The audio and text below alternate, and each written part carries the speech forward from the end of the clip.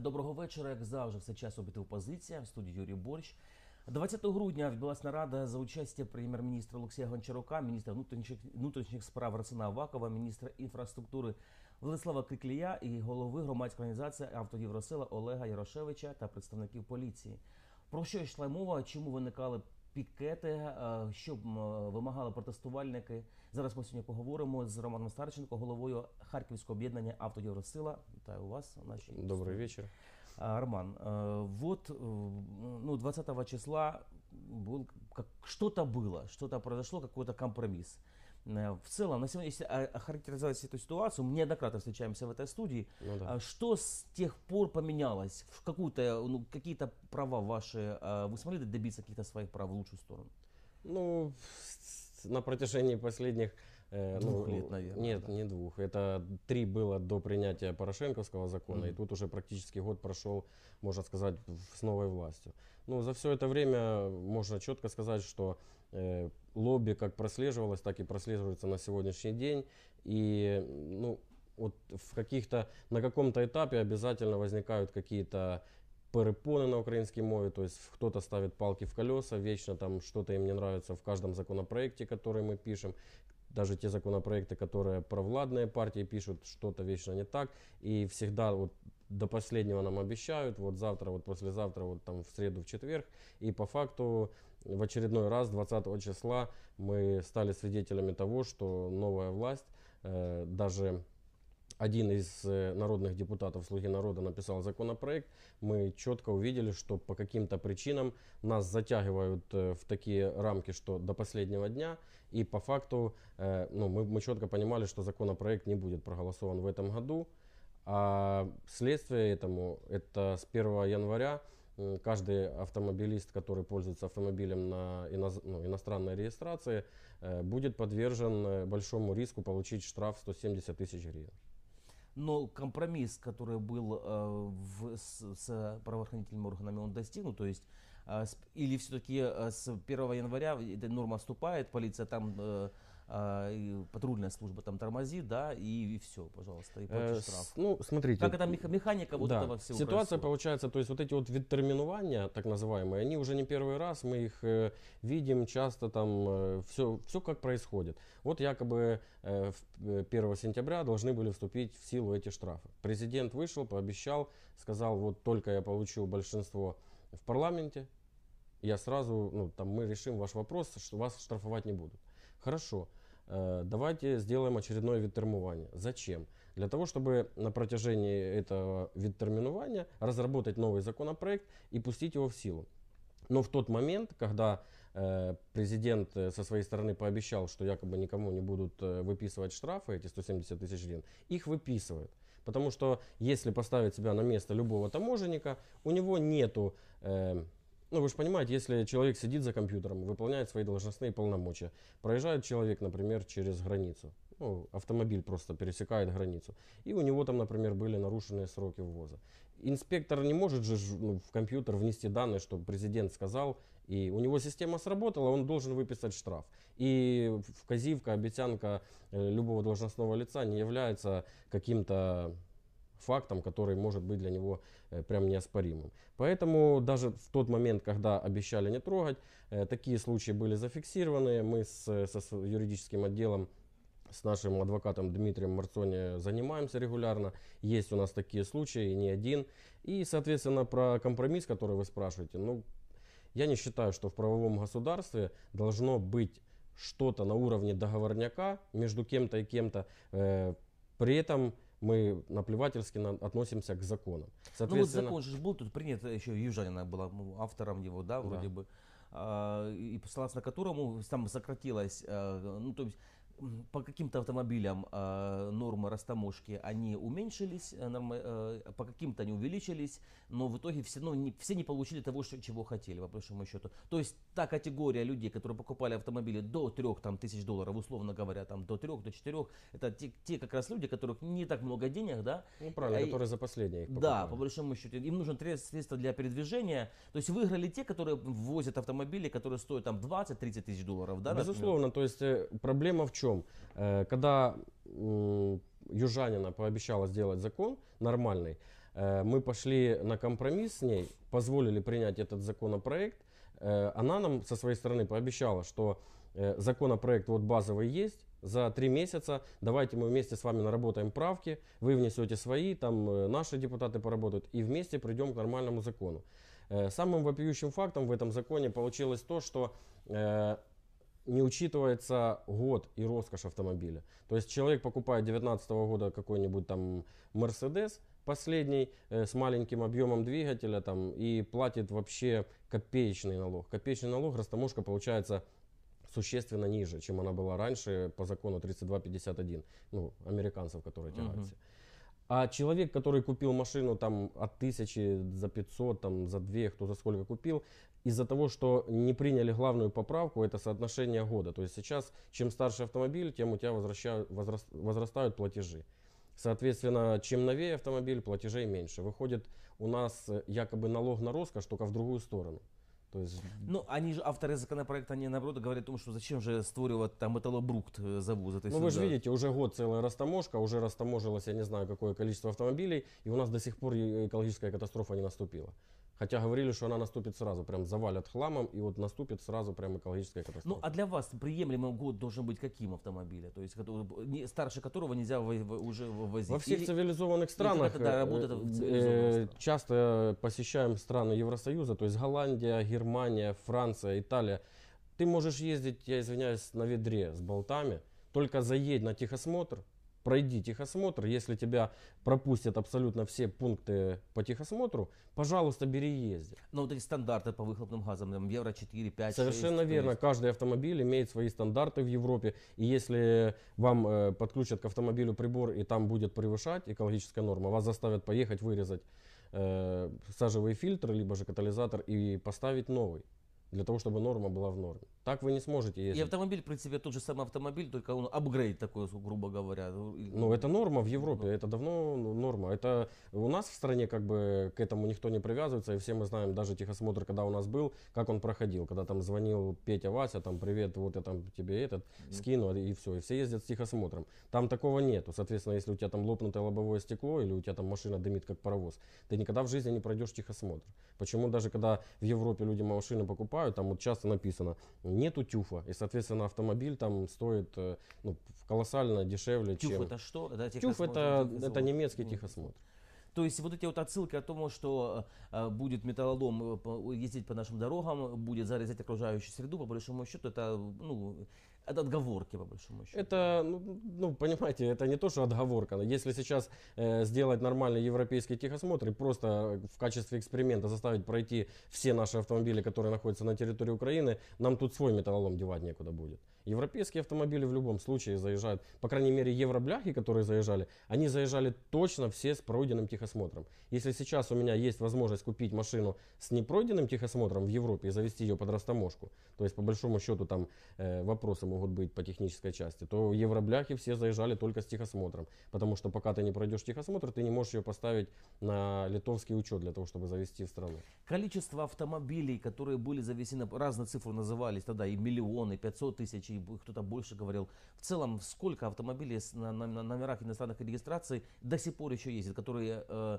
не были растаможены по новому, э, зарегистрированы по новому законодательству, ну, либо Ну, растаможены. каких-то точных цифр нету, э, потому что даже ДФС-служба по своим базам не может определить, э, сколько этих машин, потому что э, они считают в одну, ну, то есть в, в общий котел машины, те, которые находятся с просрочкой, машины, которые находятся в транзите еще не просроченные, во временном ввозе с просрочкой, не просроченные. То есть они приводили общую цифру, э, общая цифра там достигала порядка 3 миллионов автомобилей. Но если разобраться, сколько из этих машин, ну именно так называемые евробляхи, то цифра, по- я думаю, где-то порядка 800 тысяч. 800 тысяч. Это они, они сейчас на ино- иностранных номерах а, продолжают ездить э, на территории Некоторая Украины. из них часть э, растаможилась. Очень много был вал автомобилей растаможенных в льготный период, это до февраля, когда приняли закон.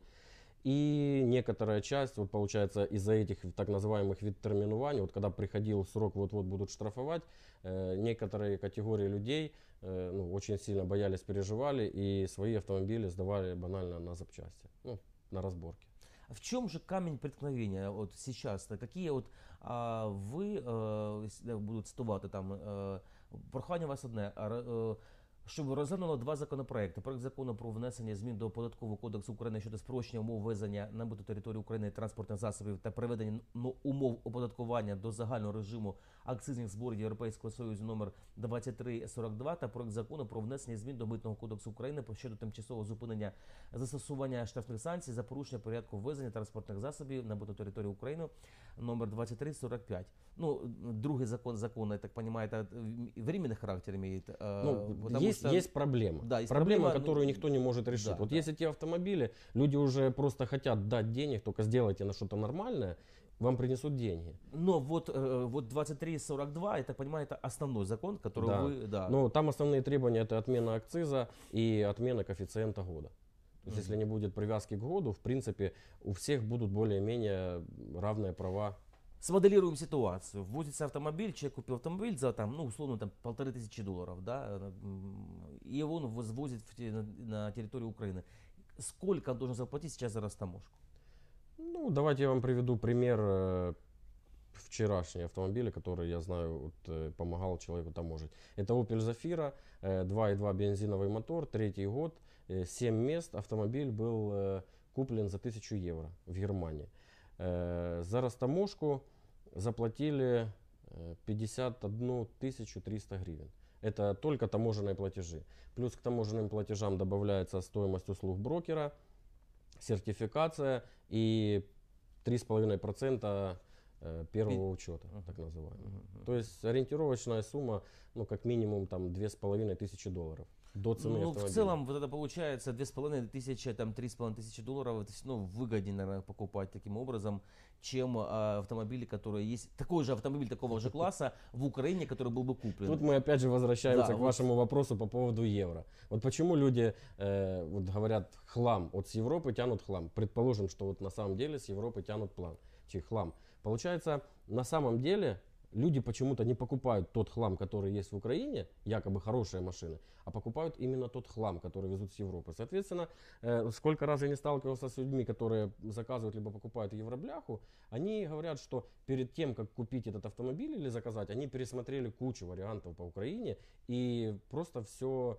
ну, реальный откровенный хлам. Не, И ну, поэтому конечно, Оп- Opel автомобиль. Zafira, да, там семи- это минивэн получается, Ну, да. семиместный, там 3,5 тысячи долларов, грубо говоря. Но у нас они не продавались официально никогда, соответственно, Ну, рынок... хорошо, купить э, опелевский минивэн за 4000 долларов, это невозможно в Украине, то есть это ладно, ты не купишь. Не, ну возможно, но это просто будет э, Ну, уже... это рухлядь уже, это да. не автомобиль будет. Это будет уже доходяга. Хотя тут автомобиль ну, вполне был адекватный, с сервисной книгой, 130 тысяч пробега, один хозяин, немец. Она просто была, ну я не знаю, как они, как они вообще за, так- за, такой, ну, за такой большой срок эксплуатации автомобиля оставляют его в таком состоянии. Ну, реально. Ну, наверное, в техосмотр, вернее, в э, те- техническое обслуживание и автомобильные дороги. И Там обязательное условие, вы не сможете ездить по дорогам, если у вас не будет страховки и техосмотра обязательно. Раньше были схемы ввоза, вот э, в основном ездили на, на год, да, завозились автомобили, там, по доверенности э, в основном, да. Сейчас это все изменилось, сейчас больше все-таки в легальном каком-то ключе завозятся автомобили, либо такая же схема остается. После того, когда было у нас в сентябре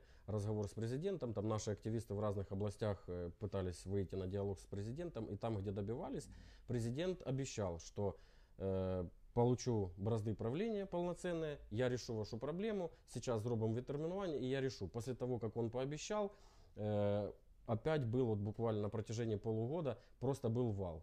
И по сегодняшний день есть люди заказывают так называемые евробляхи э, с надеждой на то, что ну теперь же ж пообещали, что 14 числа проголосуют. Ну, с надеждой на то, что он купит за тысячу долларов, везет ее Да. сюда в- на временный И- ввоз, а и- потом и уже льготы растаможит. будут так называемые для евробляха. Евробляха будет считаться автомобиль, который заедет до принятия законопроекта, вступления в силу. Мгм. Соответственно, сейчас опять существует э, некий дефицит, и ну, машин очень много едут.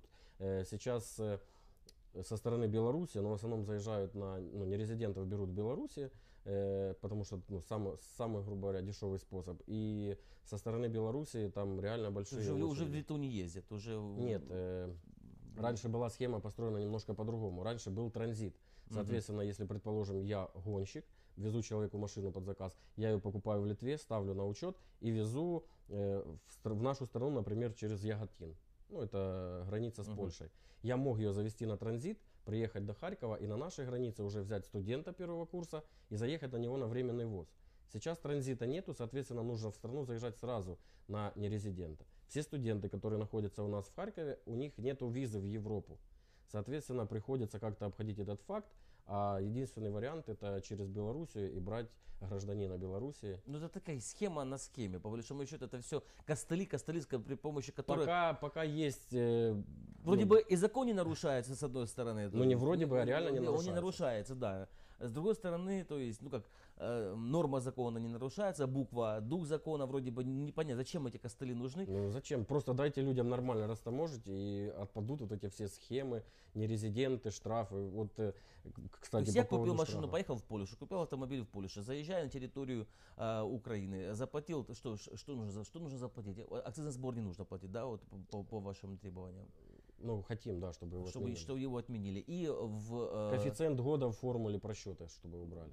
убрали. Что тогда нужно платить? От, от, от чего отталкиваться? Ну, грубо Что говоря, остается? ори- ориентировочно будет э, 35-40% от стоимости автомобиля. Мгм. Любого. Мгм. Соответственно, если ты купил автомобиль за 20 тысяч, заплатишь 35, и за 500 тоже заплатишь 35%. Ну, ваши нормы называть справедливо. Вот мы начали о том, что есть лобби какое-то. Вот какое лобби было раньше? Вроде бы поменялась власть. А у Ну, нас уже вроде бы нет своих что- автомобилестроительных организ... ну, компаний.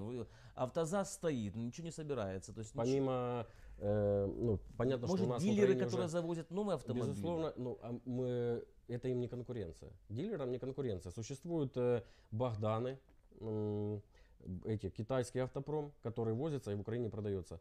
Но вы же сами понимаете, что ну, ни один китайский автомобиль, даже самый топовый, который сейчас выпускают, никогда в жизни не сравнится ни с Audi, ни с BMW, ни с Volkswagen. То есть это ну, априори несовместимые вещи. Да, есть люди, которые покупают новый этот китайский хлам, но очень много людей предпочитают ездить, пускай она будет старше, но это будет качественный немецкий автомобиль. Поэтому лобби как было, так и существует. И мы знаем, что, ну, понятно, что президент у нас якобы ушел, но сферы влияния остались и ну, практически ничего не поменялось. Вот эти вот відтермінування постійні, то есть, ну к чему все-таки это все должно привести? Ведь Если сейчас опять окро- открылось окно и опять пошел ввоз автомобилей э, в надежде на то, что, то есть власть, получается, сама по себе играет против самой, самой себя. Безусловно. Потому что сейчас вроде опять, опять дали э, отсрочку небольшую, люди опять кинулись, потом опять с этим авт- количество автомобилей увеличивается таким Ну, образом. правильно, они не могут закрыть вопрос. Сейчас э, э, доход от э, размытнения так называемых евроблях не внесли в статью дохода в бюджет. То есть, в принципе, нету там. Они не запланировали этих денег. То есть, по большому счету, в стране, ну, так скажем, лежит небольшой кусок, ну, каких-то там денег. Есть определенные люди, которые, ну, они должны куда-то прильнуть. То есть, либо им полить эти автомобили, э, там, я не знаю, получать штрафы, и будет у нас страна должников. Либо же просто возьмите их, сделайте им там единоразовую какую-то акцию, поставьте дату, вот там, например, до 31-го. Все там растаможились по тысяче и закрыли этот вопрос.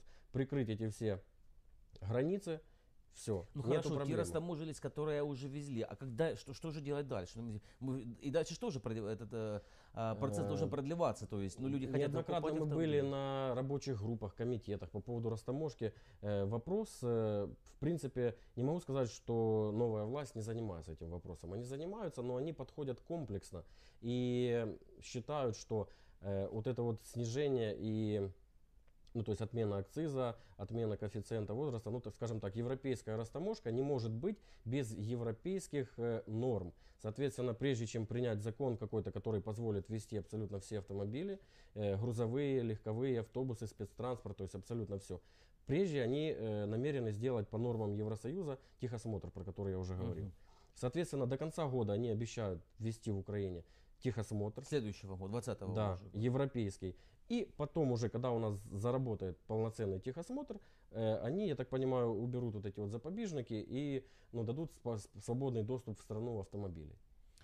Ну, будем надеяться на то, что все-таки прислушаются к вашим мнениям. А что будете делать? Опять будут акции, да, если в случае чего? То есть автодер России, Ну, не выда- вы не выдохлись еще бороться за Последняя свои. акция была 4 дня. Я, если честно, ну, не знаю, в эфире это можно говорить или нет, я, был, э, я поддерживал нашего президента, поддерживал изменения, новую власть. Для меня было каким-то, я не знаю, знаковым просто э, меткой какой-то знаковой, что президент за 4 дня не вышел к э, протестующим. Я понимаю, что там были вопросы, ну, там, с национальным корпусом, там драки, заварухи, даже Ну, один там- человек там погиб. накладка была с да, там, там была там земля, там целая куча была акций. да. Но тем не менее, вот э, наши активисты стояли 4 дня, стояли под его домом. Но президент же говорил, что я не буду таким, как Порошенко, я буду спілкуватися с людьми. И никто не вышел, я не говорю уже про президента, но никто не вышел с его команды и не дал какое-то логическое объяснение. А вот эти очередные обещания э, Авакова о том, что они будут трогать, ну полицейские, может, и не будут трогать. Тому же не давало никаких официальных э, як Тут, там, ну, это просто были переговоры, я так понимаю. Документов никаких подписано Ну, не это было. договорняк, это просто, банальный просто пообещали. То есть. Хотя, по сути, полицейский на сегодняшний день не имеет никакого права что-то вам выписывать. Спасибо, Роман, за участие в нашій програмі. Ми будемо розраховувати на те, що дійсно дослухається до а, автомобілістів, до м, жителів нашої країни, тому що кожен має право на доступне авто. Кабінет міністрів пообіцяв розглянути ці два законопроекти відразу на першому засіданні в новому році, 14 січня. А, Будемо сподіватися, що це відбудеться. У нас в гостях був е, Роман Старченко, е, голова Харківської організації Авто Євросила. До побачення, на все добре.